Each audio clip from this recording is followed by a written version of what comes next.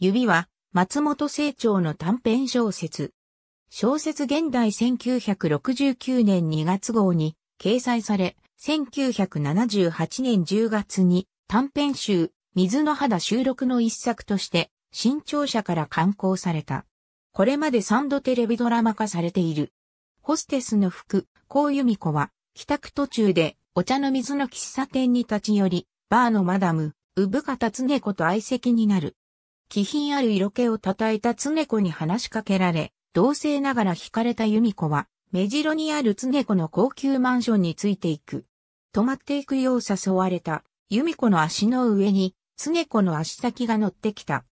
常子はチワワを飼っていたが、由美子は犬が自分たちの関係を覗いているような気がして、その存在が気になる。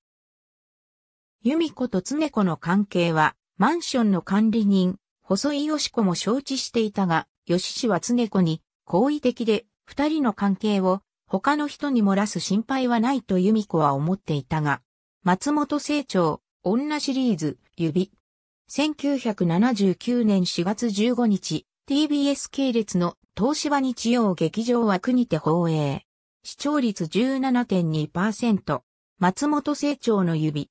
1982年7月27日、日本テレビ系列の火曜サスペンス劇場枠にて放映。視聴率28.0%。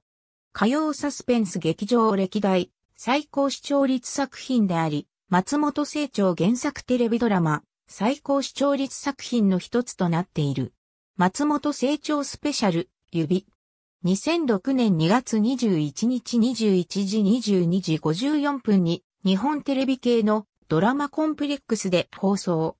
サブタイトルは、スターになりたい。他人を蹴落とし誰とでも寝るは、DVD 化されている。出演者スタッフ。ありがとうございます。